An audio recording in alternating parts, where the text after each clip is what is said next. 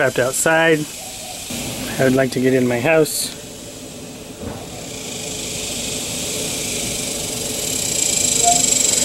Please open the garage door.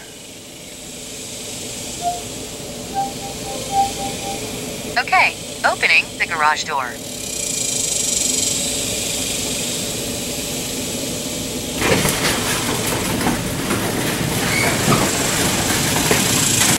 So in this video I'm going to show you my Cortana MQTT integration. Hey Cortana, please open the garage door. Sure thing. Opening the garage door. This is the uh, MQTT test client in the back. Hey Cortana, please close the garage door. Closing the garage door.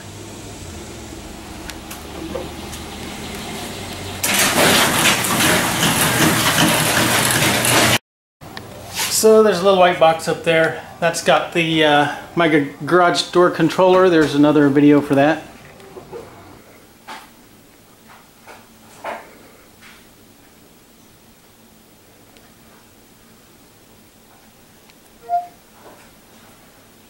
Please ring the doorbell.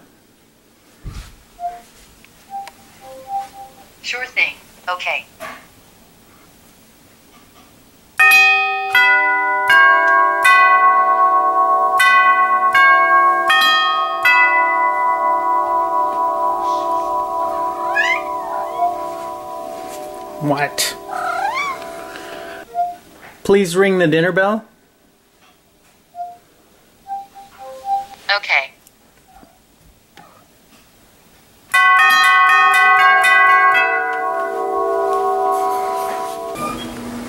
Okay, so here in the kitchen, one of the applications is our kids never hear us. We can scream at the top of our lungs and they won't come down to eat. So, hey Cortana, please ring the dinner bell.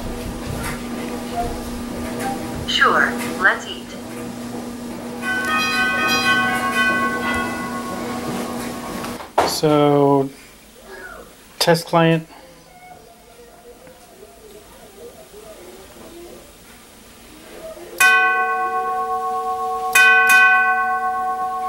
I also have just the bells.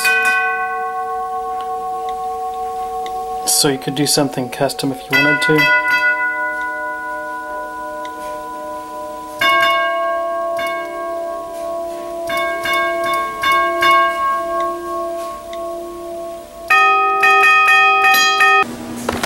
Also one of the cool things is she'll she'll you can customize what she says to you. So hey Cortana. Hey Cortana. Please ring the doorbell. Okay. Knock knock. Okay, so to download the code, go to my GitHub. Um, the link is shared in the video description. So we're going to go ahead and clone or download. Once you get it, extract it. And you're going to need Visual Studio 2015 Express or better. Go ahead and open that solution.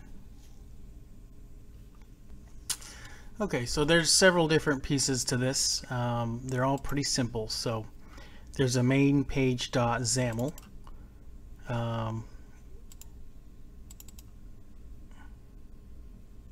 so the main page dot XAML is the visual page that that launches whenever you open the, the program. I have some buttons on here as examples. So the code behind this page, and this is all um, definitely optional, right? You don't have to have buttons, but um, it's just an, another example of how you can do this. So the uh, code behind it is this page.xaml.cs, C sharp. So there's just button clicks. So if we go back up here, this ring doorbell, when you click on this, I can double click it and it takes me to this. So when you click that button, all it does is it executes a method and I'll show you this method that is very tiny. So it executes the method and it sends it three things. It says what MQTT topic are we publishing to?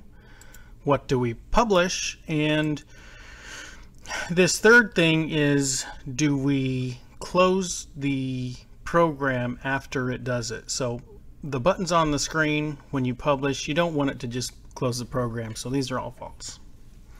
So there's four examples here. The magic happens up in um, app.xaml and the C sharp. Here's the method. It's very simple.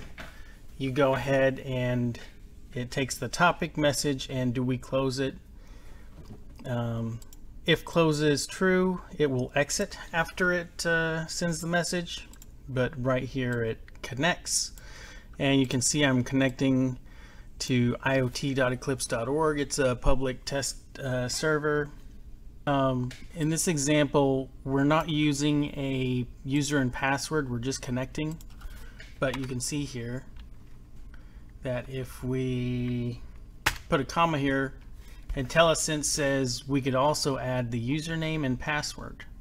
So you can see up in this commented out line, we've got the, this GUID right here is just, um, it's generating a unique ID for us when we connect because we want this to always be unique. If you just put something static here and then you deployed it on two devices, they, they couldn't really connect at the same time. It wouldn't work out. So then you can put a user and password. So anyway. Okay, so we fixed that thing back up, so it's good. So now if we call it from Cortana, um, this app.xaml, it knows that there's a little difference um, when the application is invoked by Cortana or normally launched. So when you double click it, you're going to come up with this main page, but when Cortana launches it, it's a little different. So anyway, um, let's look at this Cortana commands. So this is a voice command, command set, and basically you just add whatever you want in here. These are some examples. Um, I forget which sample I found this on, but um, so here's the main ones we use. Um, the command name is open garage door, and here's an example, and then here's what she listens for. She listens for open the garage door, and then here's what she says. She says, okay, opening the garage door. So if she senses this, she'll execute this command right here called open underscore garage underscore door, which is back in this app.xaml.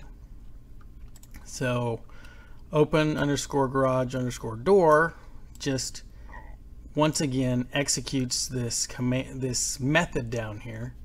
It's gonna publish to this topic. This is what it's gonna say and it's gonna this is true so it's actually gonna just close the program right after it, it launches.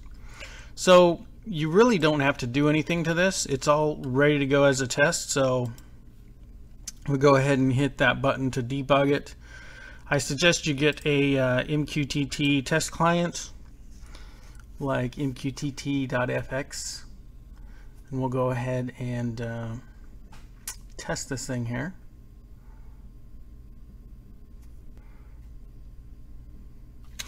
So my test client, while this is building, I'm going to connect to MQ, iot.eclipse.org.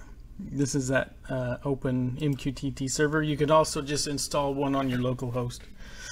And then this is what I'm going to subscribe to, Cortana.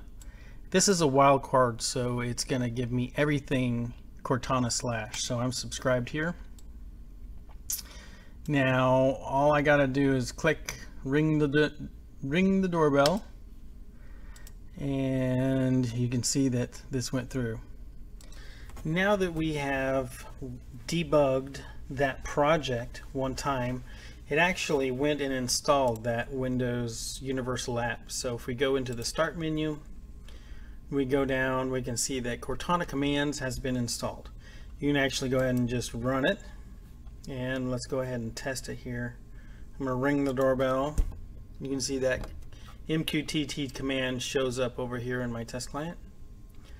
Um, I'm going to click uh, close the garage door. It takes a second because it's actually disconnected and reconnecting, so it's not, like I said, it's not optimized for quickly uh, sending those. So now we can also just say, hey Cortana, please ring the dinner bell.